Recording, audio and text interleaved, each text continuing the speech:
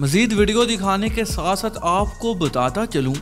नजरिन कराम आप ये मंजर मुलायजा फरमाएँ, ये आज़ाद कश्मीर के हैं और आप ज़रा ये नारे सुने, जिसमें नारे लगाए जा रहे हैं कि कश्मीर आज़ादी लेकर रहेगा, कश्मीर बनेगा खुद मुख्तार। नाजरीन कराम एक अरसे से नारे लग रहे थे कि कश्मीर बनेगा पाकिस्तान, लेकिन इस इम्पोर्टेड हुकूमत और इनके हैंडलर की बैरा रवि की वजह से अब कश्मीर भी पाकिस्तान के खिलाफ उठ खड़ा हुआ है।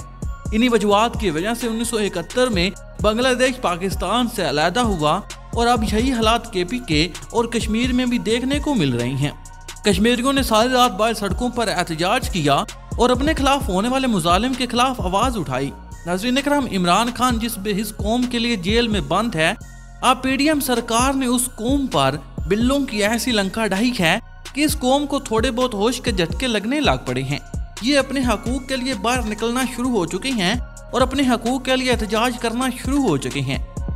लेकिन असरीन कराम हमारे अदारों ने पुरअमन एहतजाज करने वाले लोगों को भी नहीं छोड़ा और उन्हें उठा उठा कर जेलों में बंद करना शुरू हो चुके हैं, जिससे अवाम के अंदर गमो गुस्सा बढ़ता जा रहा है और अपनी ही अवाम के खिलाफ नफरत भी बढ़ रही है। जिसकी वजह से आप ये नारे सुन सकती हैं जो कि कश्मीर में लगाई जा रही हैं कि कश्मीर लेकर रहेगा आज़ादी और कश्मीर बनेगा खुद मुख्तार। इससे पहले के पी के लोगों ने भी एहतजाज किया था। अफ़गानिस्तान के और ब्लैक परचम लेकर एहतजाज रिकॉर्ड करवाया था। पता नहीं हमारे मुल्क के करता धरता क्या सोच रही हैं और ये मुल्क को किस तरफ़ लेकर जाना चाहते हैं, हमें तो कोई समझ नहीं आ रही।